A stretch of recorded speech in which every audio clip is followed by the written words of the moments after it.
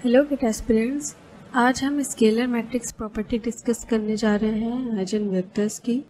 तो देखिए, यहाँ पे क्या लिखा हुआ है कि in scalar matrix all eigen values are same तो हमारे पास कोई एक ए मैट्रिक्स है स्केलर मैट्रिक्स तो two zero zero zero two zero zero zero two right तो ये आपकी कोई स्केलर मैट्रिक्स है थ्री क्रॉस थ्री की? स्केलर मैट्रिक्स यही होती है ना गाइस जिसके डायगोनल सेम होते हैं, बाकी अपर और लोअर सारी वैल्यूज़ आपके ज़ीरो होती हैं। ठीक है तो यहाँ पे मैंने टू टू टू लिया है। तो आगे देखते हैं, ठीक है, in scalar matrix all eigen values are same then there exist a number of linearly independent non-zero eigenvectors equal to number of same eigen same eigen values ओ ओ। तो यहाँ पे देखिए, अभी तक हमने जितना भी पढ़ा था, वो सारा केस उल्टा हो गया है आइजन वेक्टर का।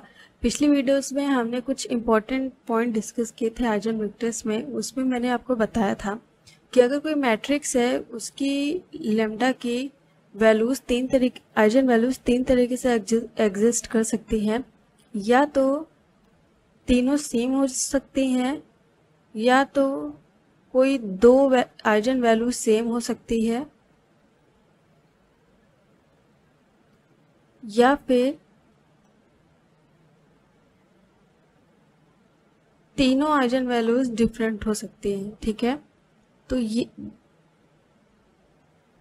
तो ये तीन केस मैंने डिस्कस किए थे डिटेल में, अगर आपने नहीं देखा है तो वहाँ पे डिटेल में जाके आप समझ सकते हैं, नीचे डिस्क्रिप्शन बॉक्स में आपको लिंक प्रोवाइड कर दूँगी। तो देखिए, यहाँ पे मैंने केस ये डिस्कस किया था कि जो आपके सेम आइजन वैल्यूज़ होती हैं, वो कितनी भी हो बट उनके करस्पॉन्डिंग सिर्फ़ एक ही आइजन वेक्टर आपका एग्जिस्ट करेगा। ठीक है?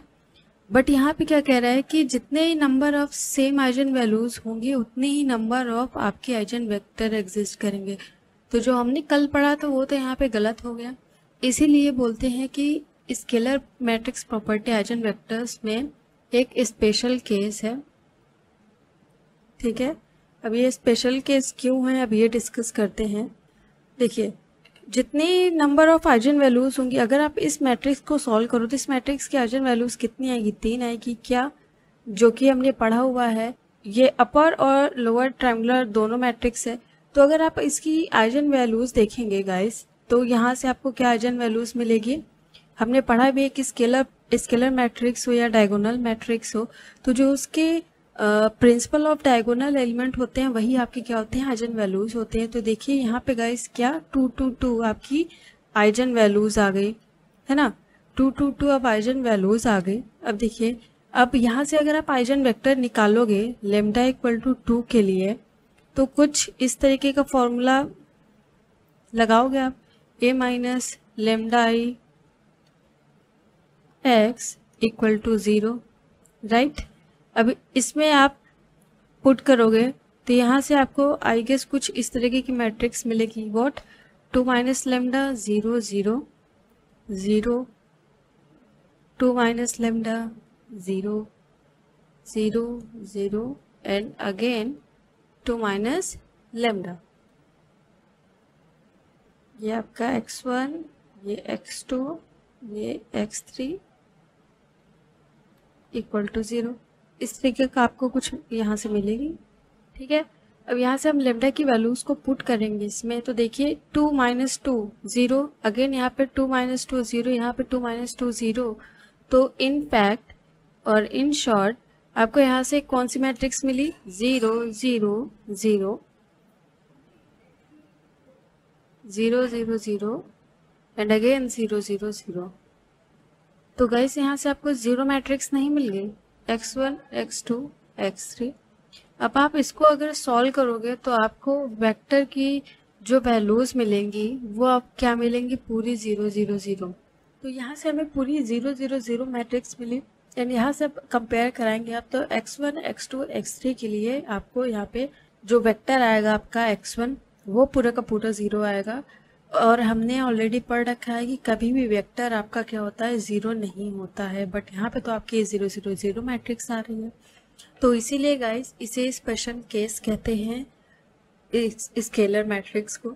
बिकॉज़ आप यहाँ पे कोई भी नंबर ले लो, वो सेम ही होगा। और सेम ही अर्जन वैल्यूज़ आएँगी तो ऑलवेज आपको यहाँ पे ज़ीरो मैट्रिक्स ही मिलेगी। इसका मतलब वेक्टर आपको ज़ीरो ही मिलने वाला है। तो अब अब क्या करेंगे? तो देखिए गाइस अब आपको क्या करना है यहाँ पे? अज्यूम करना है। ठीक है? अज्यूम क्या करना है यहाँ पे? अज्यूम ये करना है आपको कि कोई भी इस ये जो आपकी, ये जो आपका पूरा आया है, ये वाली मैट्रिक्स तो इससे हमें यहाँ पे x equal to zero zero zero मिला है, ठीक है?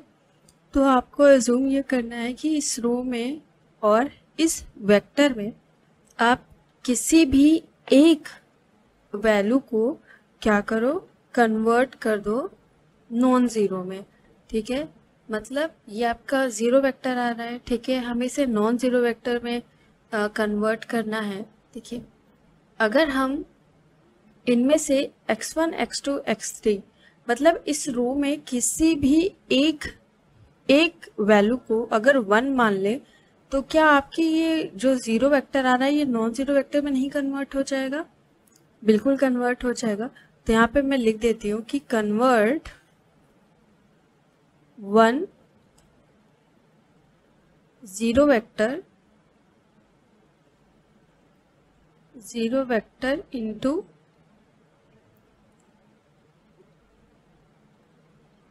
non zero non-zero vector by assuming itself as one ठीक है तो देखिए यहाँ पे x जो आपका आया है ये x1, x2 और ये x3 है ठीक है और ये आया था आपका क्या? Zero zero zero. अब मैं कह रही हूँ कि अब इसमें से जो वेक्टर है आपका, ये एक्स में X one X two X three इनमें से किसी एक को आप ज़ीरो मान लो। तो मैंने यहाँ पे क्या माना है? वन किसको माना है? एक्स वन को। ठीक है? तो यहाँ पे देखिए तीन पॉसिबिलिटीज पॉसिबल है।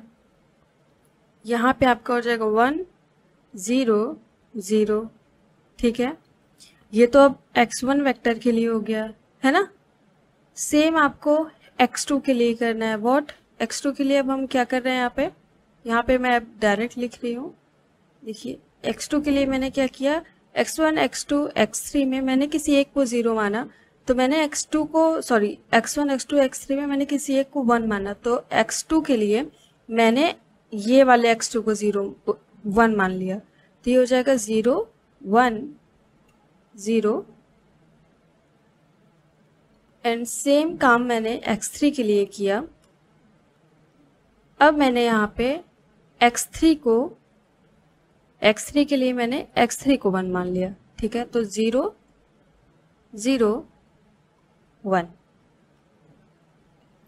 तो देखिएगा इस अब x1 x2 और x3 तीनों ये क्या हो गए आपके? नॉन ज़ीरो वेक्टर मतलब यहाँ पे अब आपकी x1, x3, x1, x2, x3 eigen vector क्या कर रहे हैं?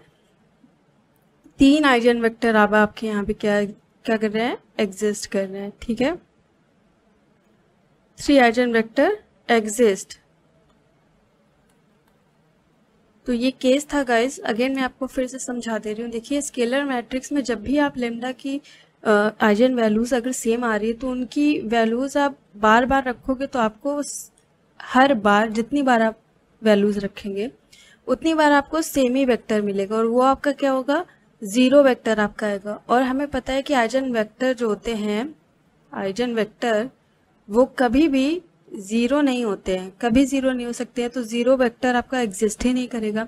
बट हमने सब कुछ सही किया था तो स्केलर की प्रॉपर्टी यही है। तो वहाँ पे ज़ीरो वेक्टर आपको मिलेंगे ही मिलेंगे। तो हमने क्या किया कि खुद से हमने एज्यूम किया कि हम किसी एक X one X two X three में हम किसी एक को वन मान लेंगे। जब आपने किसी एक को वन मान लिया तो एक्स वन के लिए आपको वैल्यू क्या मिली? One zero zero X two के लिए अगेन हमने वन माना तो zero one zero and X three के लिए हमने अगेन वन माना तो ज़ीरो वन ज़ीरो अब बहुत से लोग बोलेंगे, भाई हम X two X one X two को लिए क्यों नहीं मान सकते? नहीं, हमें सिर्फ़ एक वैल्यू के लिए, एक एक्स वन या एक्स टू या एक्स थ्री के लिए, हमें सिर्फ़ इनमें से किसी एक को ही जो है नॉन ज़ीरो वैल्यू अज्यूम करनी पड़ेगी। नॉन ज़ीरो वैल्यू मतलब वन तो सबसे इजी था, हमने वन अज्यूम किया। एक्स वन को एक्स वन के लिए तो वन ज़ीरो ज़ीरो मिला एक्स टू के लिए ज़ीरो वन वन मिला एंड एक्स थ्री के लिए ज़ीरो ज़ीरो वन मिला, ठीक है? तो इसी तरीके से आपको क्वेश्चंस में भी अज्यूम करना है। अगर आपको स्केलर प्रॉपर्टी पे बेस्ड आइजन वेक्टर में क्वेश्चन आ जाते हैं तो आपको ये चीज़ ध्यान रखनी होगी। ये बहुत इंपॉर्टेंट पॉइंट है गाइस इसे दिमाग में हमने ज़रूर रखिएगा। सो so, अगर आपको कोई भी क्वेश्चन हो या कोई भी क्वेरी हो तो नीचे मुझे कमेंट में करके पूछ सकते हैं। सो so, मिलते हैं हमारे नेक्स्ट वीडियो में तब तक के लिए बाय बाय